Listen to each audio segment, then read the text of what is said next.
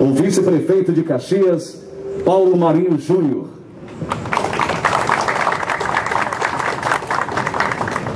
Bom dia, meus amigos, bom dia, minhas amigas.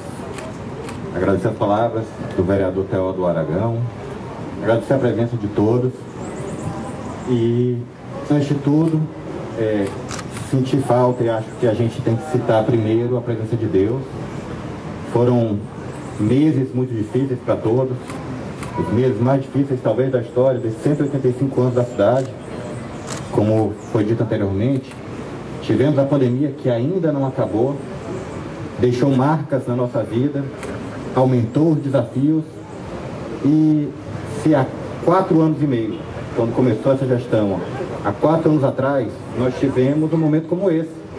Naquela oportunidade, Fábio não estava presente e eu cortei o bolo aqui com a dona Rosário. Eu lembro bem disso. Desde então a gente não celebrou esse momento. Mas que resgatemos esse momento de contemplar nossa cidade, utilizemos esse momento para nos unir, já que diante da pandemia os desafios só aumentaram.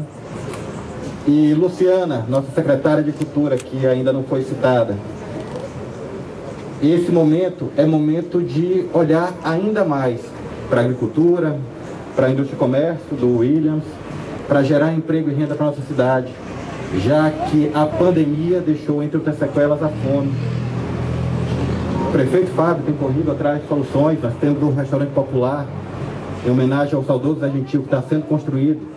E até o final do ano, né, Fábio? Vai estar entregue para ajudar um pouco a amenizar a fome.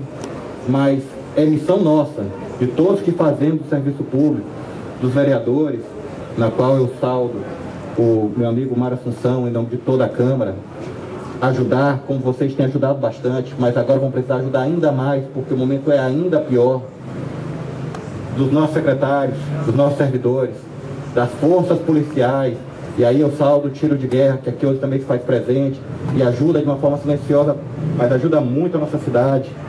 Que todos nós possamos nos unir para superar de vez essa pandemia. Acreditamos que o pior já passou, mas ainda não acabou. E com esse espírito, agradecer a presença de todos, desejar um ótimo dia a todos vocês. Muito obrigado.